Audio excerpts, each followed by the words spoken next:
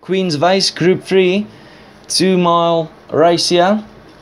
And uh, let's go through the field. Atlantic Vienna. Then we got Captain Kirk, Grooven, Jackanowski, Little Bitcoin, Maximum Mistake, The Bookkeeper, Devil's Eye, Dublin Diva, and Mexicanos Hanger. I think that's how you pronounce that, Darren.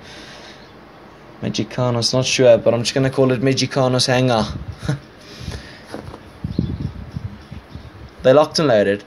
Two miles to go. They racing. Got off to a level beginning here for all. And the bookkeeper just overcoming that wide draw, throwing his head up and down here. Just giving the rider a difficult ride here is the bookkeeper.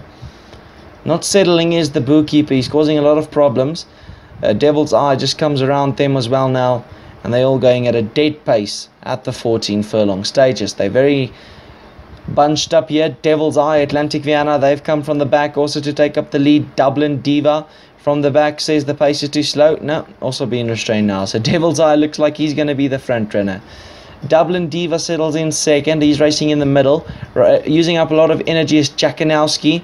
The number four, he's racing out wide at the back. Captain Kirk is settled in nicely at the back. He's being restrained. So 12 furlongs left to go.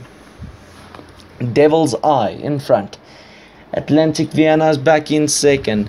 Then we got goes to third now. So Jakanowski is in third, but he's still using up a lot of energy because he's racing out at least six lengths wide. So he's going to need to try and overcome that draw to save some energy.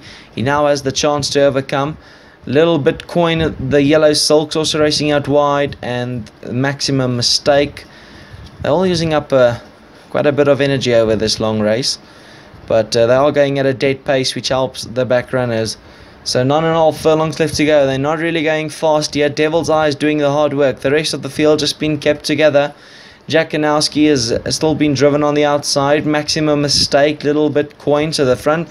So the, the runners on the wide is uh, traveling much better than the inside runners. Grooven is further back in the field with Captain Kirk. They are the back markers. Eight furlongs left to go in the two mile race. Here it's Devil's Eye. Jack Kanowski now overcomes the draw. Sits ready to strike back in second. The bookkeeper now joined in third. Racing out wide, maximum mistake. That's the grey horse. Then Atlantic Vienna, Dublin Diva is further back in the field. Then we got Little Bitcoin, Grooven, and Captain Kirk still being kept together, but not outpaced. And uh, won't be surprised if the back runners can finish well here. Five and a half furlongs left to go. Devil's Eye in front. The bookkeeper second. Maximum mistake is also up there. Jakanowski as well. We're starting to improve on the on the rail. Magicano's hangout also suddenly in the picture. That's only about four lengths from the leader, and the leader has gone for home. There's no turning back. Devil's Eye. He's put in his mind to it. He's gone for home. Six lanes. Jakanowski in second. Mexicanos is being dr driven on the third. Coming on from the back, the bookkeeper as well. And now uh, hooks to the outside. That one has about eight lengths to come on. The back runners are in some trouble here. Two and a half to go. Devil's Eye in front. Jakanowski in second. He's still traveling well as Jakanowski with each and every stride. He's getting closer to Devil's Eye. He's just not doing it fast enough. Devil's Eye is still in front. One and a half to go. How much does Devil's Eye have in the tank? Jakanowski, the bookkeeper, Mexicanos, they're applying pressure. They're well. The rest of the field looks well beat. It's Devil's Eye still in front now. Jakanowski is going to put the pressure on. Jakanowski is getting to Devil's Eye. Devil's Eye is still holding, and Devil's Eye will win. Jakanowski second. Mexicanos back in third. The bookkeeper did enough for fourth.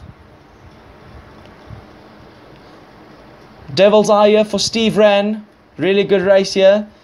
Kept together, kept going and he was the front runner, the only horse that did a lot of hard work. The rest were just sitting in well behind this one, and they got caught flat footed.